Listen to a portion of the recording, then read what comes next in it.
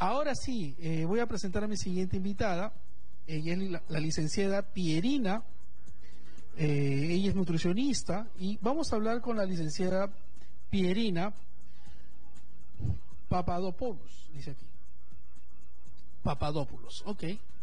Eh, la licenciada Pierina Papadopoulos, nutricionista, y vamos a hablar acerca de la dieta adecuada para una persona que padece de diabetes.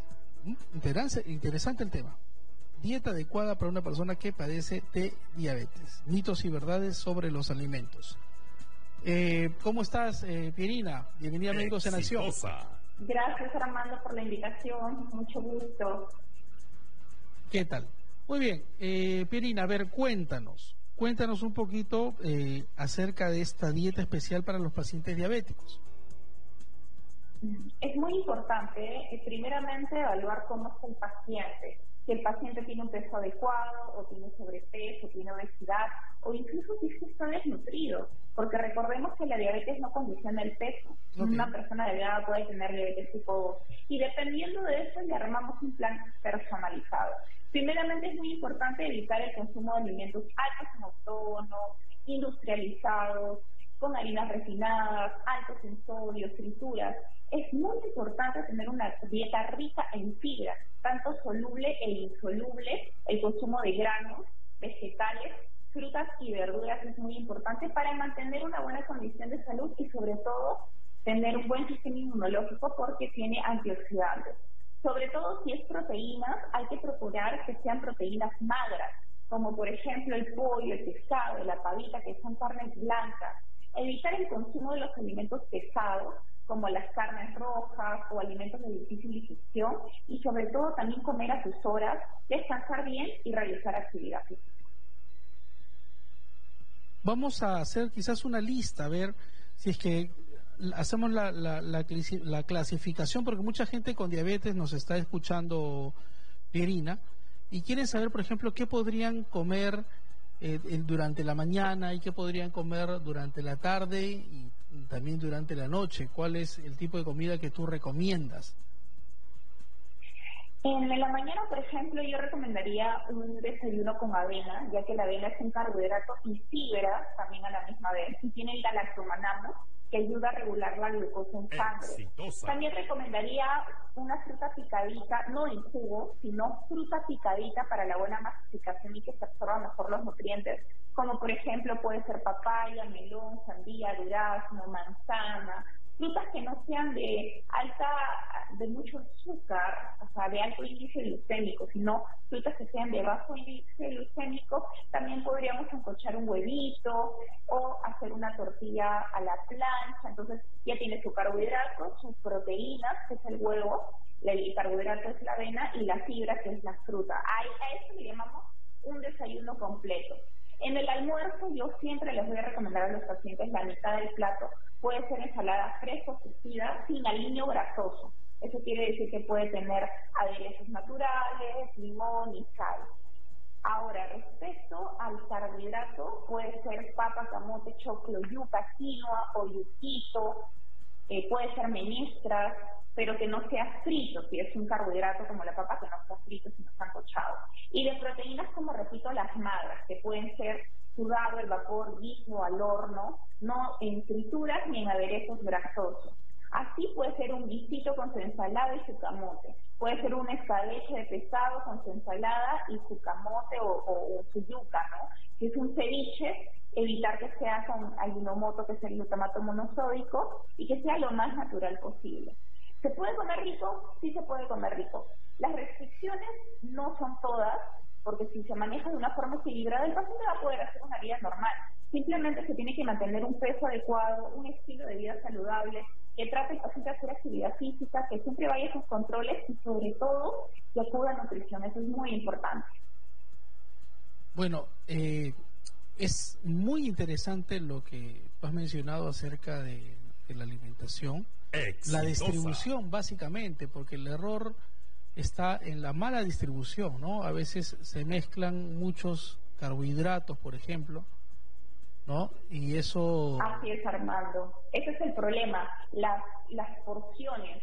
Porque el paciente puede comer carbohidratos, pero en las porciones está la clave. En las porciones ahí se va a ver cómo el paciente se está alimentando adecuadamente. Por ejemplo, si el paciente diabético come el 90% de carbohidratos en su plato y un 10% de proteínas en ensalada, no se está alimentando bien, porque está consumiendo un exceso de calorías en energía, pero no está consumiendo una buena cantidad de proteínas y mucho menos alimentos reguladores como la ensalada. Entonces, como repito, puede comer de todo, pero de una forma equilibrada y tratar de siempre cuidarse de este tipo de alimentos altos en autónomos, industrializados, ultraprocesados, alimentos que no lo van a ayudar en su condición. Ahora, eh, está de moda o se habla mucho acerca del ayuno intermitente.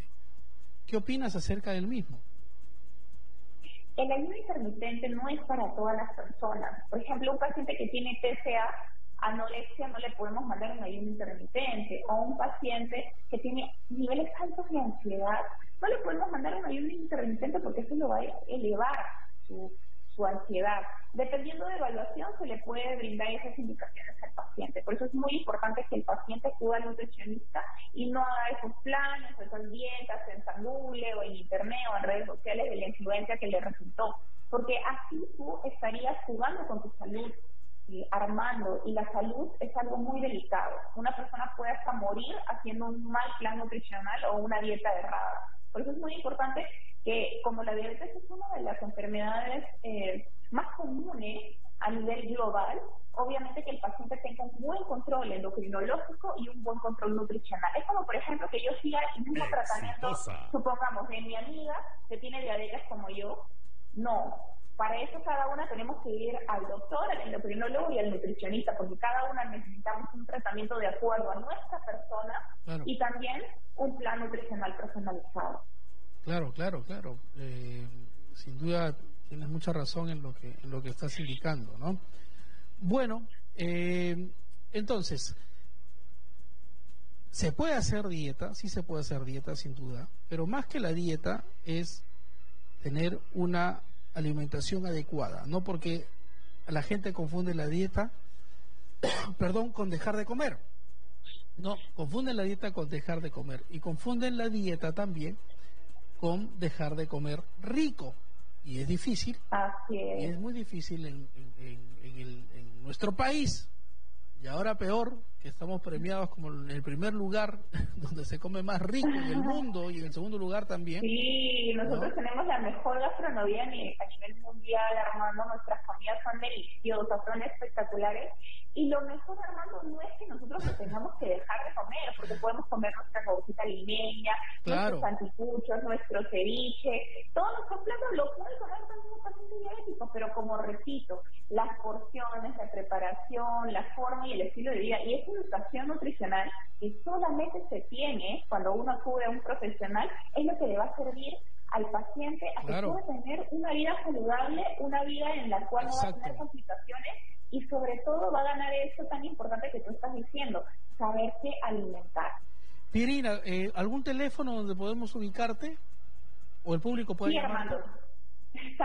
Claro que sí, veo pacientes diabéticos con sobrepeso, obesidad, niños adultos, adultas mayores, embarazadas también. Me pueden contactar a mi número que es el 954-111-670. Lo repito nuevamente, es el 954-111-670 o a través de mis redes sociales que siempre coloco información muy importante y relevante que es Irina Nutricionista.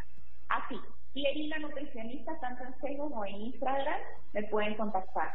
Otra vez el teléfono, por favor. Es el 954-111-670. Listo. Pierina. Nutricionista. Listo. Muy bien, muchas gracias, Pierina. Gracias, Armando. Listo, nos vemos. Gracias. Ay, hoy día me cambiaron.